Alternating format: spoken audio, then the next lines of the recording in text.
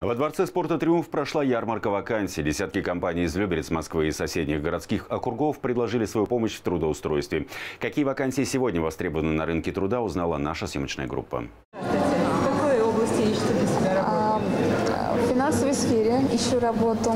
У нас как раз для вас есть вакансия финансового менеджера. Евгения Камагина по специальности менеджер по туризму. За годы работы у нее появились постоянные клиенты. Однако в последние годы ситуация в сфере туризма изменилась, и Евгения решила сменить сферу деятельности. Подходящую работу нашла в Люберцах. Там у них есть несколько вакансий, как раз в финансовой э, сфере и вот оператор ПК меня еще заинтересовала вакансия. Мы Договорились быть на связи, то есть, ну вот как бы созвониться в ближайшее время. Зарплата, кстати, поинтересовалась даже больше, чем я, я зарабатывала. На сегодняшний момент у нас безработных граждан намного меньше, чем потребность у работодателей. Спектр вакансий очень большой, то есть любой безработный сможет найти себе работу.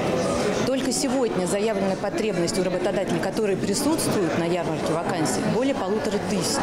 Востребованы инженеры и рабочие, электросварщики, монтажники, токари. Петр Попов – слесарь механосборочных работ. До выхода на пенсию осталось несколько лет. Ездить на работу в Москву далеко. Уволился. Теперь подыскивает работу в родных Люберцах. Посмотрю, подходящий, да, подходящий, но там надо потом будет все звонить, как бы прояснить. Я в Москве в последнее время работал, туда ездить не хочется.